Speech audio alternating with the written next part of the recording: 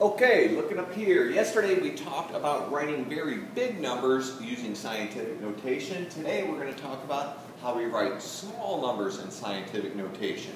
And here's the rule for you. To write a number less than 1 in scientific notation, you move the decimal point right and use a negative exponent. So here we go. Uh, first example here, we have a number that's written in standard notation and we want to write it into scientific notation.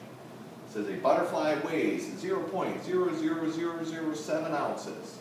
Write this number in scientific notation. Again, if you go up to your rule, it tells us to move the decimal point to the right.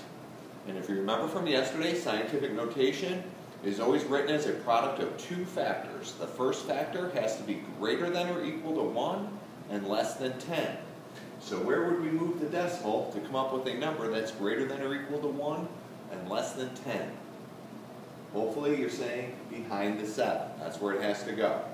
So we would have 7.0, and our second factor is always a power of 10, times 10 to the which power? Well, notice we moved our decimal one, two, three, four, five places to the right. So it's 10 to the negative 5. Is how you would write this number in scientific notation. Okay, and it works the opposite way too. If we want to take a number that's written in scientific notation and write it in standard notation, we're going to do um, the same thing. Remember, we have a spider that weighs 1.6 times 10 to the negative fifth pounds. Write this number in standard notation. Now remember, when you see a negative exponent, you know that you're dealing with a number that's less than 1. So we're going to need to move this decimal point to the left, not to the right, because that would give us 16,000 or 160,000 if we were to go this way. So we're moving our decimal five places to the left.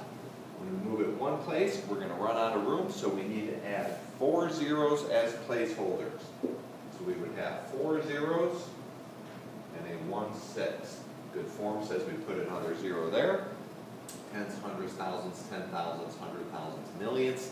16 millionths of a pound is how much that spider weighs. Okay, guys, not too difficult but you got to practice. So I want you to get into your workbooks and practice the problems that we got for you where you're writing very small numbers in scientific notation. Get started.